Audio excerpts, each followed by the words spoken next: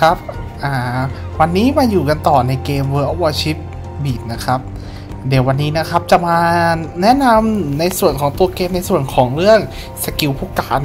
นะครับ ทีนี้นะครับสกิลผู้การเนี่ยในเกมเนี่ยจะไม่เหมือนกับตัว World of Warship ใน PC นะครับ คือผู้การจะมีสกิลทั้งหมดอ่ามีสกิลแถวผู้การทั้งหมด 12 แถวนะครับ แถวหนึ่งเนี่ยก็จะมีทั้งหมด3สกิลให้เลือกนะครับต่อแถวนะครับ ทีนี้นะครับเรือแต่ละประเภท เรือแต่ละประเภท แล้วก็เรือแต่ละรูปแบบเนี่ย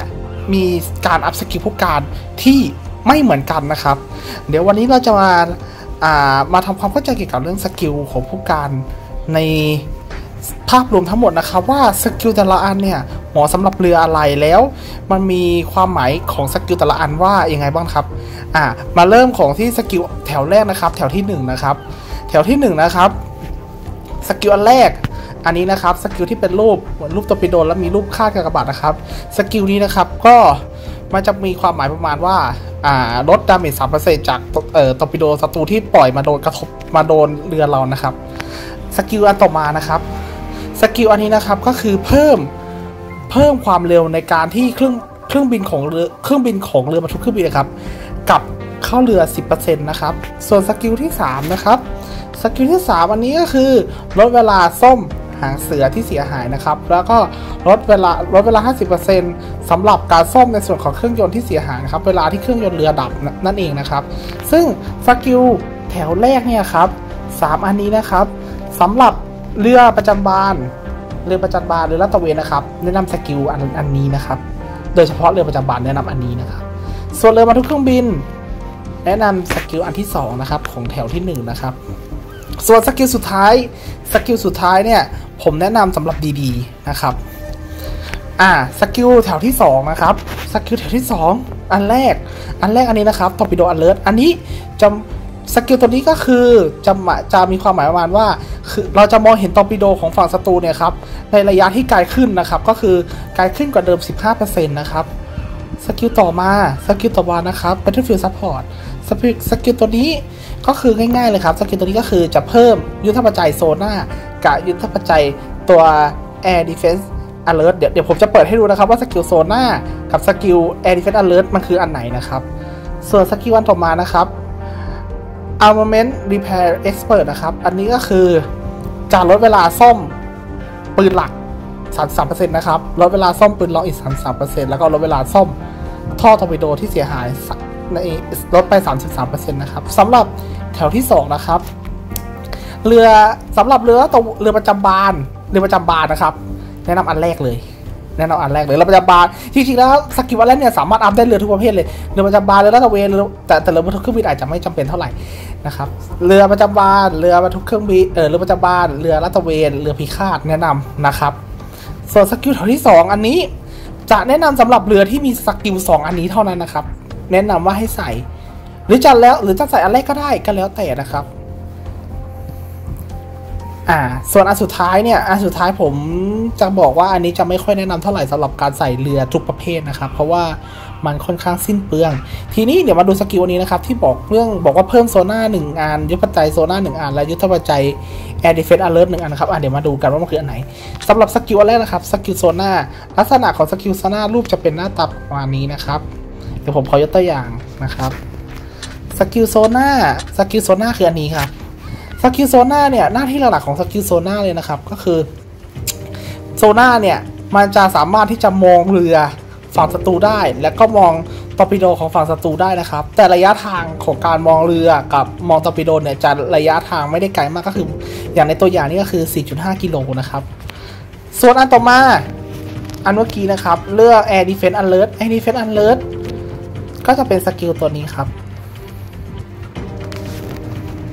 Air Defense Alert คือสกิลตัวนี้นะครับ Air Defense Alert ก็คือจะเพิ่มในส่วนของอ่าดา damage ของตัวปืนต่อต้านอากาศยานครับขนาดเล็กและขนาดใหญ่นะครับ เป็นระยะเวลาประมาณอ่าก็ถ้าถ้าถ้าถ้าตามตัวอย่างก็คือจะเพิ่ม damage ของอ่าเอเอเออปืนต่อต้านอากาศยานระยะไกลนะครับ100%แล้วก็ขนาดเล็กอีก200%เปอร์เซ็นต์เป็นระยะเวลา 20 วินาทีนะครับ อันนี้อันตัวตัวอย่างอันนี้ก็คือจะประมาณนี้ ทีนี้มันก็แล้วแต่แล้วแต่แต่ละประเภทแต่หน้าที่หลักๆของ Air Defense Alert Skill ก็คือเวลากดใช้งานนะครับปืนต่อต้านอากาศยานบนเรือแต่ลำที่มีสกิลตัวเนี้ยมันจะทำให้ damage แรงขึ้นนั่นเองครับง่ายๆ เพราะฉะนั้นสกิลนี้ก็จะเหมาะไอ้สกิลเมื่อกี้ก็จะเหมาะสำหรับเรือที่เป็นเรือลักษณะที่เป็นทั้งมีสสองสกิลสกิลใดสกิลหนึ่งก็ได้นะครับมันก็จะเพิ่มอีกไปอีกหนึ่งนะครับต่อมาครับสกิลแถวที่ 3สกิลแถวที่ 3 อันแรกนะครับ High Alert High Alert อันนี้จะมีความหมายหมายถึงว่ามันจะลดเวลาการ cooldown ของตัวดาม damage control kit นะครับ 10%ก็คือ damage control kit ก็คือจะเป็นตัวถังดับเพลิงนะครับ ก็จะลดเวลาการ reload ลงไปอีก 10%นะครับสกิลแถวที่2สกิล Preheating อันนี้ มีความหมายประมาณว่าในช่วงเริ่มเกมประมาณ 40 วินาทีแรกครับนะครับ ประมาณช่วง 40 วินาทีแรกเนี่ย เรือจะเพิ่มความเร็วไปอีก3%เพิ่มความเร็วไปอีก3%แล้วก็เพิ่มการเร่งเครื่องจากศูนย์ถึงความเร็วสูงสุดของเรือครับอีก 3.3%สกิลสุดท้ายนะครับ อันนี้ artillery maintenance expert นะครับ ตัวนี้ก็คือสกิลตัวนี้เขาก็จะบอกว่าเมื่อเลือดเรือเนี่ยเลือดของตัวเรือเราเนี่ยครับมากกว่า 75%เนี่ยครับมันจะเพิ่ม ระยะเวลามันจะทำให้การหมุนป้อมปืนนะครับเร็วขึ้นอีก 15%และลดการกระจายตัวของกระสุนเนี่ยครับ 3%นะครับสำหรับแถวนี้นะครับ ถ้าเป็น BB ถ้าเป็น DT BB BB เนี่ย BB ผมให้เลือกอัพสองอันนี้นะครับ ก็คือ High Alert กับ Artillery Maintenance Expert นะครับสำหรับ BB ส่วนสำหรับเรือลาดตระเวนเรือลาดตระเวนแนะนำว่าให้ให้เอาอันแรกนะครับ ส่วนเรือพิฆาตเนี่ย แนะนำว่าให้เอาอันแรกที่เดียวกัน อันที่สองผมไม่แนะนำเนื่องจากว่าเกมมัน 40 วินาทีเนี่ย มันค่อนข้างที่จะไม่โอเค มันจะไม่ค่อยโอเคเท่าไหร่สำหรับสกิลนี้มันค่อนข้างสิ้นเปลืองนะครับ แต่ใครจะอัพก็ได้ก็ไม่ก็ไม่ผิดก็ได้เหมือนกันครับ ส่วน CV นั้นส่วน CV ส่วน CV อัพอันแรกเลยครับ CV เอาอันแรกสไปสกิลแถวที่ 4 นะครับ อันแรก Victorious Charge นะครับ Change นะครับ อันนี้ก็คือเมื่อเราทำลายเรือศัตรูไปได้ใน battle เนี่ยครับ รามาจะ Recovery เรือเลือดเรือให้ 1.5%นะครับต่อเรือหนึ่งลำที่ทำลายได้นะครับสกิลต่อมานะครับ Air Defense Expert นะครับ อันนี้ก็คือเมื่อเราใช้สกิลเมื่อกี้ครับสกิลที่เป็นรูปเพิ่มประสิทธิภาพของปืนต่อต้านอากาศยานนะครับอันเนี้ยสกิลตัวเนี้ยมันก็จะช่วยอีกก็คือช่วยให้ไอระยะเวลาการทำงานของสกิลเนี่ยครับนานขึ้นอีก 25%และลดการ cooldown อีก 33%นะครับส่วนสกิลอันสุดท้าย Unstoppable อันนี้ก็คือเมื่อได้เมื่อได้สัญลักษณ์ Kraken Unleashed นะครับ มันก็จะ recovery เลือดเรือขึ้นมา 33%แล้วก็ลดเวลาโหลดกระสุนปืนหลัก 25%และลดเวลา reload ตอร์ปิโด25%ถามว่าสกิลนี้จะได้จากอะไรนะครับ จะได้จากอันนี้ครับ จะได้จากเหรียญอันนี้ Kraken Unleashed นะครับ ก็คือทำลายเรือ 5ลำหรือมากกว่า 5ลำก็ได้ในการรบนั้นในการรบใน 1 ครั้งนะครับ ซึ่งสกิลนี้สกิลอันนี้ สกิลอันนี้อ่าผมจะบอกเลยว่าไม่แนะนำให้อัพสำหรับเรือทุกประเภทไม่แนะนำให้อัพเลยนะครับสำหรับเรือประจัญบานผมแนะนำอันแรกจริงๆแล้วจริงๆแล้วไม่ใช่มันไม่ใช่แค่เรือประจัญบานเรือเกือบทุกชนิดครับ ให้อัพอันแรกเลย ไม่ว่าจะเรือประเภทไหนให้อัพอันแรก ส่วนอันที่สองให้อัพสำหรับเรือที่มีสกิลรูปร่างหน้าตาประมาณอันนี้ครับ รูปร่างสกิลชื่อประมาณนี้เลย จะเวลหนึ่งและสองและสามก็ได้ อัพไปเลย ถ้าถ้าเรือมีสกิลอันนี้นะครับ ให้อัพอันนี้ไปเลยนะครับ ต่อมาครับ แถวที่ 5 แถวที่ 5 นะครับสกิลแถว5อันแรก Solaris Solaris นี้อันนี้ก็คือจะเพิ่มการ Recovery เพิ่มอีก 15%เมื่อเราใช้ตัวซ่อมนะครับ ก็คือตัว Repair Kit ก็คือตัวนี้นะครับ ก็คือเมื่อเรากดฮิลปกติแล้วมันจะได้ระดับหนึ่งใช่ไหมครับ อันนี้ก็จะเพิ่มอีก 15%นะครับ ต่อมาครับ File Supremacy อันนี้ก็คือจะเพิ่ม Processing Aiming System กับ Rapid Reload เดี๋ยวผมจะไปให้ดูนะครับว่า มันคือสกิลประมาณไหนนะครับ อันที่3 Daredevil Daredevil นะครับ อันนี้ก็คือเมื่อเลือดเรือเนี่ย น้อยกว่า 33%ของเลือดเรือเต็มๆเนี่ยครับ เรือจะเลี้ยวเรือจะเลี้ยวเร็วขึ้น 33%และอ่าอ่าไม่ใช่ครับหัก เวลาเวลาตีวงเลี้ยวเรือครับจะลดลง 33%และเรือจะตีวงเลี้ยวเร็วขึ้น 10%ครับสักอ่าสำหรับสกิลในแถวนี้นะครับสกิลอันแรกอันแรกเนี่ยเหมาะสำหรับ BB เหมาะสำหรับ BB นะครับเหมาะสำหรับเรือลาดตระเวนนะครับส่วน CV CV เอา CV ก็อันแรกก็เหมาะสมนะครับ ส่วนสกิลสุดท้ายสำหรับเหมาะเหมาะสำหรับเรือลาดตระเวนและเรือ DD เรือเรือพิฆาตนะครับหรือ DD นะครับ ส่วนสกิลอันนี้ ก็แล้วแต่ตามใจชอบเราถ้าอยากจะเพิ่ม ยุทธปัจจัยเพิ่ม ก็จะเหมาะสำหรับเรือที่มี 2 สกิลนี้ ซึ่งสกิลนี้สองสกิลนี้คือสกิลหน้าตาประมาณไหนนะครับ อันแรก Precise Aiming System Precise Aiming System อ่าเดี๋ยวเดี๋ยวขอพูด Rapid Reload ก่อนครับ Rapid Reload จะเป็นสกิลตัวนี้ก็คือจะลดเวลา reload กระสุนปืนหลักลงนะครับ อย่างในตัวอย่างรูปนี้ก็คือจะลดเวลา reload กระสุนปืนหลักลง 15%นะครับในในระยะเวลา 20 นาที 20 วินาทีนะครับ ส่วนสกิล persuasive a m i s i v e s e n ของขอแนะนำสกิล มันก็คือสกิลอันนี้นะครับ ก็คือจะเพิ่มความแม่นยำของปืนหลัก 35%นะครับ ก็คือกระสุนจะเกาะกลุ่มมากยิ่งขึ้น และกระสุนจะบานน้อยลงนะครับเพราะนั้นสกิลอันนี้สองสองอันนี้นะครับ ก็จะบอกสำหรับเรือที่มี 2 สกิลที่ผ่านที่ได้กล่าวข้างต้นนะครับ ต่อมานะครับสกิลแถวที่ 6 สกิลแถวที่ 6 Exploit Weakness อันนี้ สกิลนี้ก็คือจะเพิ่ม 1%สำหรับการติดไฟและน้ำท่วมนะครับสกิลต่อมา Recon and Surveillance อันนี้จะเพิ่มในส่วนของ อันนี้จะเพิ่มในส่วนของการลดเวลาเเพิ่มการทำงานของตัว sonar ไปอีก 25%และลดเวลาการ cooldown ของ sonar 33%นะครับส่วนสกิลอันสุดท้าย general risk อันนี้ก็คือเมื่อใช้ถังดับเพลิงอะครับ ใช้ไอตัวถังดับเพลิงเนี่ย มันจะบวก อีก 25%สำหรับการโอกาสการติดไฟ คือลดคือลดโอกาสการติดไฟ และลดโอกาสการเกิดน้ำท่วมเป็นระยะเวลา 25 วินาทีครับ และเพิ่มเลือดอีก 1%จากเลือดจากเลือดของเรือเต็มๆอะครับสำหรับสกิลแถวที่ 6 แถวที่ 6 BB ผมไม่แนะนำวันนี้เลย แนะนำให้เอาวันนี้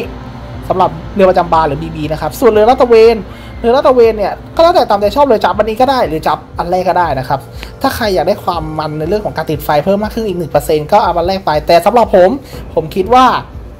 มันไม่คุ้ม มันไม่ค่อยคุ้มสำหรับเรือลาดตระเวนมันเพิ่มแค่หนึ่งเปอร์เซ็นต์ซึ่งมันค่อนข้างน้อยมาก มันค่อนข้างน้อยมาก ผมคิดว่าไม่ใส่ก็ได้ ไปใส่อันที่สามก็ได้ แต่ใครจะใส่ก็ได้ก็ไม่ผิดนะครับ อ่า ส่วนสกิลอันอันที่สองเนี่ยเหมาะสำหรับเรือที่มีสกิลของ sonar ที่ได้กล่าวไปในข้างต้นนะครับ ก็จะทำให้ใช้ได้นานมากยิ่งขึ้นนะครับ อ่า มาดูสกิลแถวสกิลแถวที่ 7 นะครับ อันแรกนะครับ Fully Prepared นะครับ อันนี้ก็คือลดเวลา 10%สำหรับ Repair Kit Cooldown Time ก็คือ ลดเวลา cooldown ของตัวซ่อมอะครับ ตัวประแจที่ซ่อมเพิ่มเลือดเรือครับ ลดลดเวลา cooldown ไป 10%สกิลต่อมา Marksman อันนี้ก็คือจะเพิ่ม 25%สำหรับ สกิลที่ได้กล่าวไปข้างต้นก็คือสกิลที่เป็นเพิ่มความแม่นยำของปืนหลักนะครับ เพิ่มระยะเวลาไปอีก25%และลดเวลา cooldown ไปอีก25%นะครับ ส่วนสกิลแถวที่อันที่ 3สำหรับแถวที่ 7 นะครับ Dog Fight Specialist อันนี้ก็คือเพิ่ม 5%สำหรับเพิ่มประสิทธิภาพการต่อสู้ของตัวเครื่องบินขับไล่ครับไปอีก5%และ และเพิ่มประสิทธิภาพสำหรับ เครื่องบินขับไล่ขณะที่ dogfight กับเครื่องบินขับไล่ของฝั่งตรงข้ามอะครับสำหรับสกิลนี้อันนี้แนะนำใส่กับเรือบรรทุกเครื่องบินเลยนะครับไม่แนะนำไม่แนะนำสำหรับเรือที่ไม่แนะนำสำหรับเรือประเภทอื่นเลยให้ใส่เรือบรรทุกเครื่องบินอย่างเดียวส่วนสกิล Marksman แนะนำให้ใส่ในเรือที่มีสกิลตัวนี้โดยเฉพาะ BB นะครับ ส่วนกลุ่มพวกสายเรือลาดตระเวนญี่ปุ่นที่มันจะมีสกิลเพิ่มแม่นนะครับ ไม่ค่อยแนะนำให้ใส่นะครับ เพราะมันไม่ค่อยคุ้ม แต่สำหรับ BB สำหรับเรือประจัญบานที่มีสกิลนี้ผมแนะนำให้ใส่นะครับอ่าส่วน Fully Prepared อันนี้เหมาะสำหรับเรือทุกประเภทเลย แนะนำให้ใส่เลยได้เลยแนะนำให้ใช้สกิลนี้เลยสำหรับเรือทุกประเภทนะครับ แถวที่ 8 อันแรกนะครับสกิลนี้ก็คือลด damage 15%จากการถูกไฟไหม้นะครับ อันนี้จะเหมาะสำหรับเรือประจัญบานเยอรมัน และเรือประจัญบานฝรั่งเศสที่มีโอกาสติดไฟค่อนข้างง่ายนะครับ หรือจะเป็นเรือประเภทอื่น เรือเรือมีเรือประจัญบานสายอื่นก็อัพได้นะครับ ต่อมาครับ Mist Weaver อันนี้เพิ่มการทำงานของไอตัวสกิลอ่า smoke generator เดี๋ยวผมจะเปิดสกิลรูปสกิลให้ดูว่ามันเป็นสกิลยังไง แล้วก็เพิ่มเขาเรียกว่าเป็นเพิ่มระยะของควันเพิ่มไป 15%ครับ และลดการ cooldown อีก 33% สำหรับการ cooldown สกิลครับ ส่วนสกิลสุดท้ายในแถวที่ 8 Adrenaline Rush อันนี้ก็เมื่อเลือดเรือเนี่ยเหลือน้อยกว่า 25%จากเลือดเต็มๆนะครับ ก็จะลดเวลา reload กระสุน 75%ลดเวลา reload ตอร์ปิโด 7.5%และลดเวลา reload ปืนหลักไอ้ปืนรองไปอีก 25%เอ้7.5%ขออภัยนะครับ และลดเวลา reload สำหรับปืนรองอัตโนมัติไปอีก 7.5%พูดง่ายก็คือปืนเรือลำไหนมีปืนหลัก มีปืนรอง มีตอร์ปิโด หรือมีตอร์ปิหรือมีปืนรองอัตโนมัติ ทุกอย่างจะลดลงไปอย่างละ 7.5%หมดเลยครับสำหรับแถว 8 BB ผมแนะนำให้อัพอันนี้นะครับ BB ผมแนะนำให้อัพอันนี้เลย ทุกสาย ส่วนแถวส่วนอันที่ 2 อันนี้อันนี้เหมาะสำหรับเรือลาดตระเวนเบาอังกฤษเท่านั้นนะครับเรือลาดตระเวนเบาอังกฤษเท่านั้นที่เหมาะกับเรือพิฆาตสายสหรัฐที่มีควัน แล้วก็ เออมีแค่สายสหรัฐครับที่มีควันแล้วก็สายญี่ปุ่นสายปืนนะครับ ซึ่งแผนปัจจุบันตอนนี้คือเรือลาดตระเวนเบาเอ้ยเรือไม่ใช่เรือลาดตระเวนเบาญี่ปุ่น เรือพิฆาตสายปืนนะครับ สายสายบนเนี่ยจะมีควันแล้วนะครับ ก็จะเหมาะสำหรับสกิลตัวนี้ แล้วก็อีกอีกอันหนึ่งที่เหมาะก็คือเป็น DD เยอรมัน tier ที่ 10 นะครับ ก็จะมีควันก็จะสามารถใช้สกิลนี้ได้เหมือนกัน หรือเรืออะไรก็ได้ที่มีสกิลควันนะครับ อะเดี๋ยวเปิดให้ดูนิดนึงสกิลควันคืออันไหน สกิลควัน ขอยกตัวอย่างลำนี้นะครับ สกิลควันคือสกิลอันนี้นะครับ smoke generator อันนี้ก็คือเมื่อเราใช้สกิลตัวนี้ครับ มันจะสร้างหมอกควันขึ้นมา 11 วินาทีนะครับ แล้วก็ควันเนี่ยจะปล่อย คือ คือมันปล่อย 11 วินาที แต่ว่าตัวควันเนี่ยมันจะอยู่ประมาณ 32 วินาที แล้วหลังจากนั้นควันจะหายไปนะครับ ซึ่งถามว่า อ้าว แล้วไอ้เรื่อง แล้วไอ้เรื่องที่มันพูดว่าเรื่องระยะ ระยะควันควันเพิ่มขึ้นคือยังไง คือเดี๋ยวผมจะอธิบายอย่างนี้ครับ คือเวลาเรือเรากลางควันเนี่ย คือขณะที่ควันมันยังไม่หมดเนี่ย ควันมันยังไม่หมดระยะเวลาการปล่อยเนี่ย ถ้าเรายังเคลื่อนเรือไปเรื่อยๆครับ ระยะควันมันก็จะเพิ่มตามระยะ มันจะเพิ่มตามขนาดที่เรือเราวิ่งไปด้วยครับ ในในความเร็วช้าๆ ควันมันก็จะมีระยะที่ยาวมากยิ่งขึ้น และกว้างมากยิ่งขึ้น นั่นเองนะครับสำหรับสกิลแถวที่ 8 อันสุดท้าย อันนี้เหมาะสำหรับเรือใครชอบความมัน ย้ำว่าใครชอบความมันนะครับ แนะนำให้อัพอันนี้เลย คือมันจะลดทุกอย่างลง โดยเฉพาะ DD สายปืนญี่ปุ่นเนี่ย ผมอัพสกิลนี้นะครับ ก็คือจะเป็นลำนี้ ผมจะอัพสกิลตัวนี้ไว้เลย เพราะว่าหนึ่งหนึ่งคือหนึ่งคือมันจะมันจะเร็วขึ้น มันจะเร็วขึ้นทุกอย่างนะครับ มันจะทำให้เวลาเราเลือดเราเหลือน้อยแล้วเราจะสามารถเอาสามารถเอาศัตรูไปได้อีกลำก็ยังดีนะครับ สกิลแถวที่ 9 อันแรกครับ Engine Overload อันนี้ก็คือเพิ่ม 25%สำหรับการเร่งเครื่องระยะเวลาการใช้สกิลเร่งเครื่องนะครับ และลด 33%สำหรับการ cooldown ตัวเร่งเครื่องนะครับสกิลวันทบ5 Close Quarter Combat Expert อันนี้ก็คือ ลด 15%สำหรับการกระจายของกระสุนปืนรอง และลด 15%สำหรับปืนรองอัตโนมัติ คือคือลดการกระจายของปืนรองอัตโนมัติ ทั้ง เอ้ยขออภัยครับ คือ 15%นี้ลดระยะลดการกระจายของปืนหลักเอ้ยไม่ใช่ปืนหลักปืนรอง ทั้งแบบปืนรอง manual และปืนรอง auto นะครับ ส่วนสกิลอันสุดท้าย Demolition Expert ตัวนี้ก็คือเพิ่ม 10%สำหรับการทำลายชิ้นส่วนของเรือครับ ไม่ว่าจะเป็นพวกหางเสือเรือ พวกเครื่องยนต์เรือ หรือเป็นปืนรองของเรือ หรือแม้กระทั่งปืนหลักของเรือได้นะครับสำหรับสกิลแถวนี้สำหรับ BB อันนี้จะยากที่หนึ่ง คือ BB เนี่ย แต่ละสายจะไม่เหมือนกัน แต่ละสายจะไม่เหมือนกัน แนะนำว่า BB ให้อัพอันนี้นะครับ BB BB หรออันนี้ยกเว้น BB อยู่ 2 สายที่แนะนำว่าให้อัพอันนี้นะครับ ก็คือ BB เยอรมัน และ BB ฝรั่งเศสนะครับ ให้อัพสกิลนี้เท่านั้นสำหรับ BB ฝรั่งเศสส่วนเรือลาดตระเวนเรือลาดตระเวนให้นับอัพอันนี้นะครับ ส่วนอันแรกอันแรกให้ใส่สกิลนี้สำหรับเรือที่มีสกิลตัวนี้นะครับ อ่าเรือที่มีสกิลตัวนี้ Engine Acceleration ก็คือเลเอ่ออันนี้ก็คือสกิลนี้คือจะบอกประมาณว่า เพิ่มความเร็วเรือไปอีกประมาณ 7.5%จากความเร็วสูงสุดของเรือนะครับ ไปในระยะเวลา 25 วินาทีนะครับสกิลนี้สกิลดังกล่าวเนี่ยก็คือจะเพิ่มความเร็วเรือ คือมันก็จะเพิ่มระยะเวลาให้เรือเร่งได้นานมากยิ่งขึ้นนะครับ อ่าสกิลแถวที่ 10 อันแรก Complement Maintain เอ่อ Maintenance นะครับ อันนี้ก็คือลด 15%สำหรับ การเกิดน้ำท่วมนะครับไม่ใช่ไม่ใช่ลดสิบห้าเซนของการเกิดน้ำท่วมลดสิบห้าเปอร์เซ็นสำหรับ damage จากน้ำท่วมนะครับ อันต่อมา Master Reloader อันนี้ก็คือจะเพิ่มระยะเวลาการ reload ทำให้สกิลไอ้ rapid reload ที่เป็นรูป reload กระสุนเร็วขึ้นนะครับไปอีก 25%และลดการ cooldown ของสกิลเนี่ยอีก 25%ส่วนสกิลสุดท้าย Honor Seeker อันนี้ก็คือเมื่อใน battle ที่เราเล่นใน1 battle เนี่ยครับ ได้เหรียญได้เหรียญอะไรสักอย่างนี่แหละ ใน battle นั้น มันจะเพิ่ม damage ต่อเรือฝั่งตรงข้ามไปอีก1.5%นะครับ อันนี้นะครับสกิลตัวนี้จะใช้ได้แค่ 3 ครั้งต่อตอนตอนหนึ่งการรบนะครับ ซึ่งสกิลนี้ผมยังไม่เข้าใจว่า มันจะเกิดประโยชน์ยังไงนะครับ มันอาจจะเกิดประโยชน์ในกรณีที่มันได้ได้มันจะมีเหรียญมันจะมีเหรียญบางเหรียญที่มันจะขึ้นขณะที่เราเรารบอยู่อย่างเช่น เหรียญ first first first strike นะครับอย่างเช่นจมลำแรกใน battle อาจจะมันจะเป็นเหรียญแรกที่จะขึ้นถ้าเราได้จมเรือลำแรก หรือจะเป็นเหรียญอันนี้ครับ confederate อันนี้ก็คือทำ damage หกลำขึ้นไปนะครับ ซึ่งสกิลอะมันอาจจะขึ้น มันอาจจะขึ้น มันอาจจะขึ้นแต่ว่ามันอาจจะไม่ค่อยไม่ค่อยโอเคเท่าไหร่ผมผมจึงเลยแนะนำว่าสกิลแถวที่สิบเนี่ย อันสุดท้ายเนี่ยไม่ต้องอัพไม่ต้องอัพเลย ไม่ต้องสนใจมันเรือประเภทไหนก็ตามไม่น่าใช้ เพราะว่า มันขึ้นสกิลตัวนี้มันขึ้นค่อนข้างยาก ขึ้นค่อนข้างยากนะครับสำหรับเรือประจัญบานแนะนำให้อัพอันแรกนะครับเรือประจัญบานเรือเรือประจัญบานแนะนำให้เรือเรือทุกประเภทเลยเรือประจัญบานเรือลาดตระเวนเรือบรรทุกเครื่องบินเรือพิฆาตแนะนำให้อัพอันแรกส่วนอันที่สองเนี่ยให้อัพสำหรับเรือที่มีสกิลลดเวลา reload กระสุนเนี่ยให้แนะนำว่าให้อัพทุกพยายามให้อัพทุกลำนะครับ หรือแล้วแต่ชอบอันแรกก็ได้นะครับสกิลแถวที่ 11 อันแรกนะครับ The Last Diver Dive อันนี้ก็คือลด 5%สำหรับการกระจายของ bomber นะครับ คือเครื่องบิน bomber เนี่ย ในในเออ World of Warships Blitz เนี่ย bomber จะค่อนข้างล็อกตายตัวเวลาไปบอมเครื่องบินศัตรู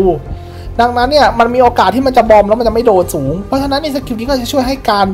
การบอมของตัวเครื่องบินบอม bomber บอมใส่เรือเนี่ยได้แม่นมากยิ่งขึ้น แล้วก็ลดการ ไปเพิ่ม 7.5%สำหรับการ penetrate ก็คือในบางจังหวะเนี่ยเครื่องบิน bomber ไปบอมใส่เรือลำบางประเภทเนี่ยมันมันไม่เข้า มันจะเด้งออก อันนี้มันก็จะเพิ่มการเด้งออกให้มันน้อยลงก็คือทำให้เจาะได้ดีมากยิ่งขึ้นนั่นเองนะครับ ซึ่งสกิลนี้แน่นอนเลยอัพสำหรับ CV ห้ามไปอัพสายอื่นเด็ดขาด หรือพูดง่ายๆคือให้อัพกับเรือบรรทุกเครื่องบินเท่านั้นนะครับส่วนสกิลอันที่ 2 ของแถวที่ 9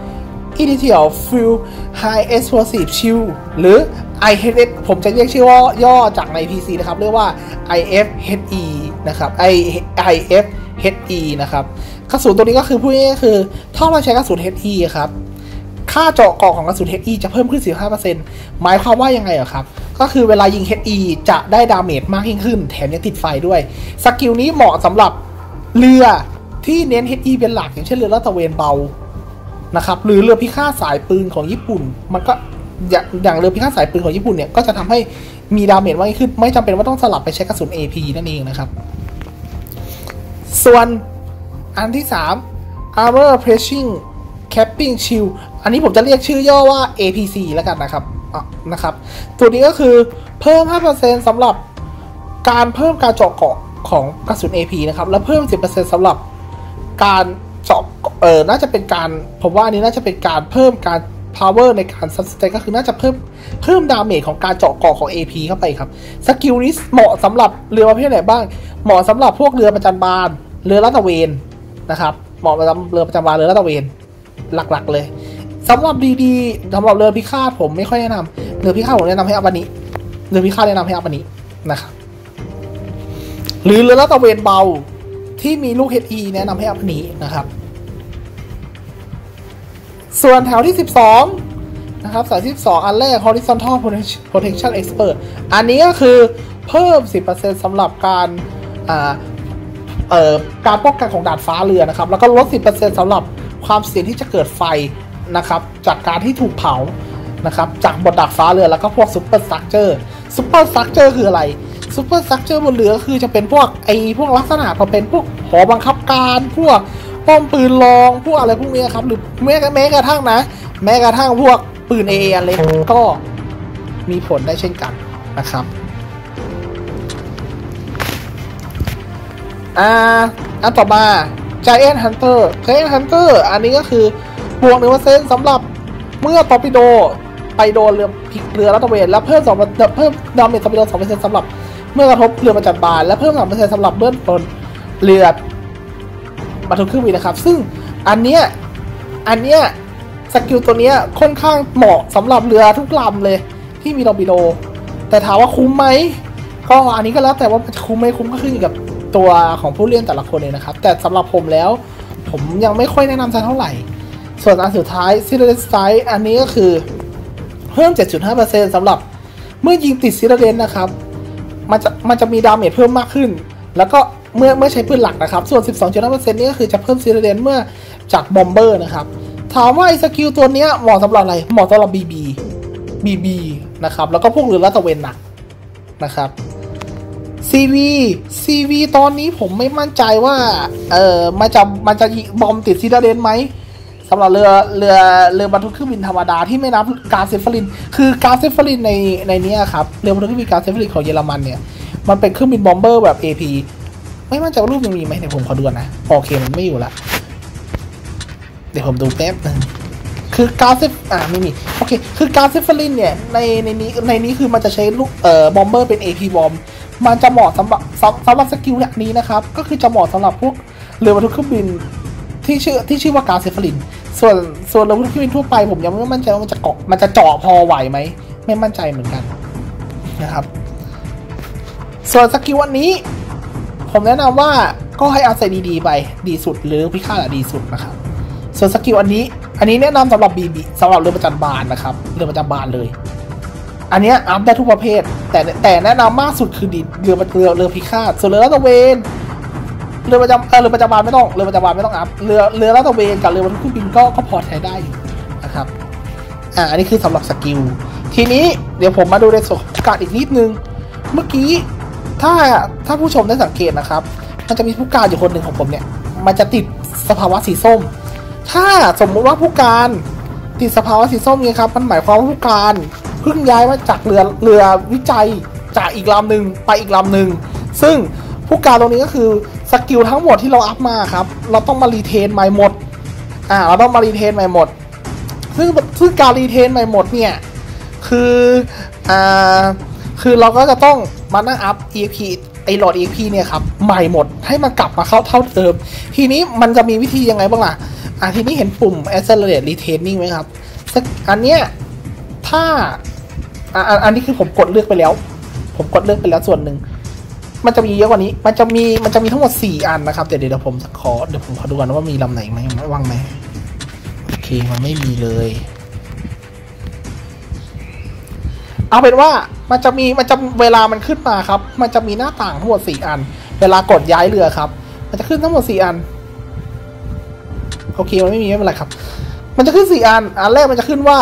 คุณไม่ใช้เงินไม่ใช้อะไรเลย แต่พอไม่ใช้อะไรเลย อันนั้นอะ มันจะมีรูปมดสี่อัน มันจะมีอันขวาสุด อันขวาสุดมันบอกว่ามันไม่ใช้อะไรเลย อันที่ไม่ใช้อะไรเลยคือสกิลผู้กลางคุณต้องเริ่ม คุณต้องเริ่มนับ EP ใหม่ตั้งแต่ศูนย์นะครับคือคือคุณต้องเก็บ EP ใหม่ให้ครบ ตามตาม level skill ที่คุณมี ส่วนอีกส่วนช่องต่อมาคือช่องที่มันจะเขียนว่าใช้สองแสนใช้เงินสองแสนอันนี้ก็คือจะได้ skill มาแค่ครึ่งเดียว มาได้แค่ครึ่งเดียวก็คือจะติดสีส้มอย่างผมเนี่ยครับอันนี้คือผมกดไปสองแสนเหรียญแล้วมันเลยได้ skill สีส้มคือมันจะขึ้นมา คือสมมติว่า EXP เก้าหมื่นมันจะขึ้นมาให้แค่สี่หมื่นห้าและที่เหลือคุณต้อง up ต่อ จนเต็มอีกรอบถึงจะได้ skill ทั้งหมดคืนมาครับ ส่วนอันที่สามคืออันนี้เลย อันนี้คือคุณยอมเสีย doubloon ไปห้าร้อย ไปห้าร้อยไม่ใช่ doubloon เสีย gold ไปห้าร้อยคุณก็จะได้ skill คืนมาหมดเลยนะครับ ส่วนอันสี่อันนี้ อันนี้ก็คือเป็นการเพิ่ม level skill โดยการใช้ EP สีเขียวเนี่ยครับ มาเพิ่ม skill ผู้การนั่นเองครับ หรือเอา skill จากดับอื่นมาเพิ่มนั่นเองครับ อันนี้อันนี้ไม่ต้องตกใจนะครับไอ้ skill ที่ผม up ผิดสำหรับลำนี้นะครับสำหรับไอ้ skill ไอ้ไอ้ไอ skill แถวสี่ skill แถวสี่เรือพิฆาตให้ให้แนะนำอะไรในในในวิดีโอนี้คือ อันนี้คือผู้การอันนี้ up ไว้ผิด แล้วผมยังไม่มีตังค์ไป reset ตรงนี้ ผมยังไม่มีตังค์ไป reset ผมก็เลยยังปล่อยไว้อยู่นะครับ ก็สำหรับคลิปนี้นะครับ ก็จะประมาณนี้นะครับ มีข้อติชมหรือเสนอในอะไรก็สามารถวางไว้ใต้เออว่าสามารถอินบ็อกหรือแสดงความเห็นไว้ในวิดีโอข้างล่างได้เลยนะครับ ก็สำหรับวันนี้นะครับ ก็ขอจบไปเพียงเท่านี้ครับ สวัสดีครับ